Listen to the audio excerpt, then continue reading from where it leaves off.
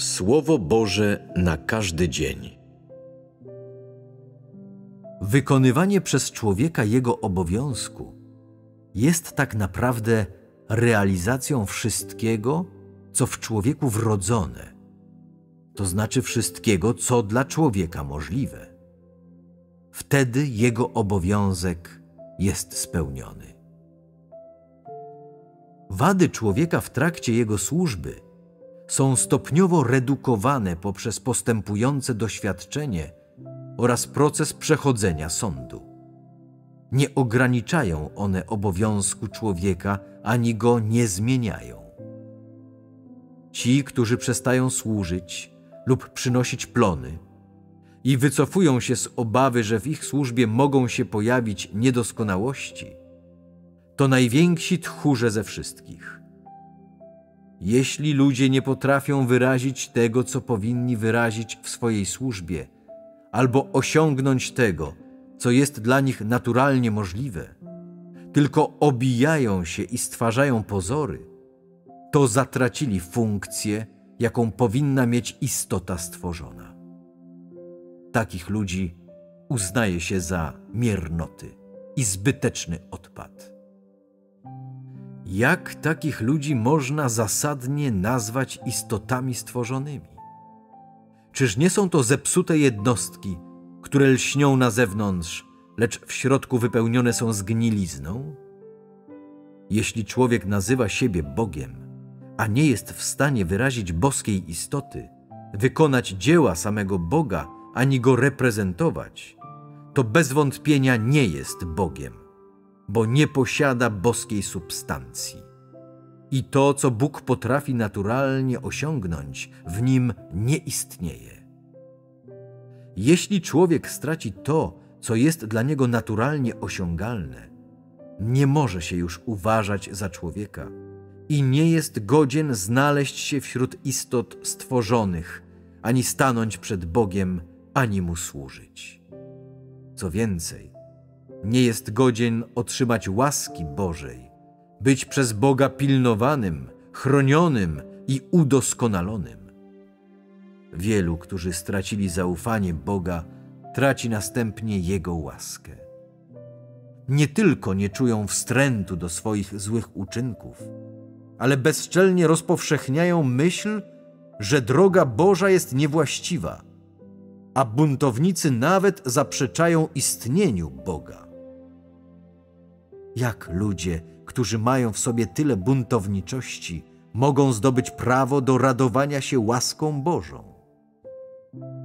Ci, którzy nie wypełniają swojego obowiązku, bardzo się buntują przeciwko Bogu i wiele mu są winni, a jednak odwracają się od Niego i zarzucają mu, że się myli. Jak tacy ludzie mieliby być godni udoskonalenia?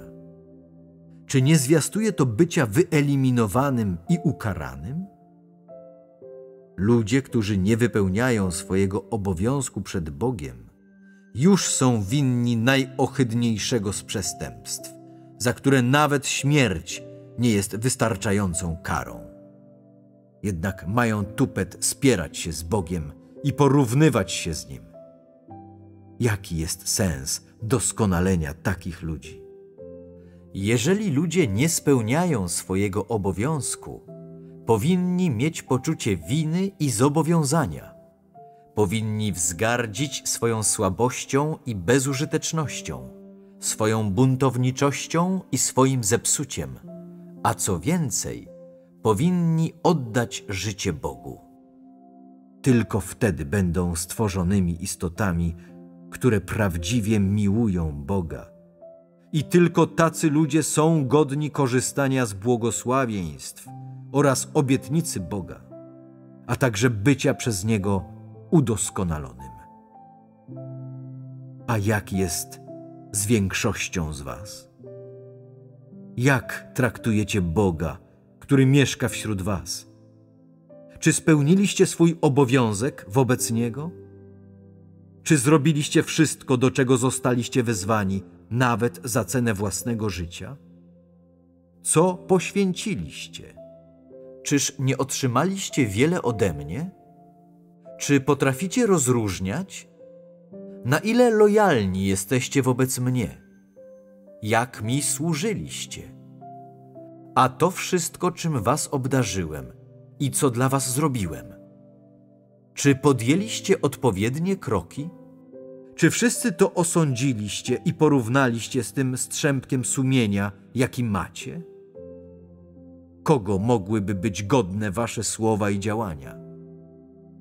Czy tak mikroskopijne poświęcenie z waszej strony jest warte tego wszystkiego, czym was obdarzyłem? Nie mam innego wyboru i byłem wam oddany całym sercem a wy jednak żywicie wobec mnie niegodziwe intencje i nie jesteście do mnie przekonani. To jest zakres waszego obowiązku, waszej jedynej funkcji. Czyż tak nie jest? Czy wiecie, że w ogóle nie spełniacie obowiązku istoty stworzonej?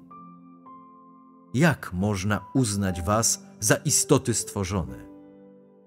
Czy nie jest dla Was jasne, co wyrażacie i urzeczywistniacie w życiu?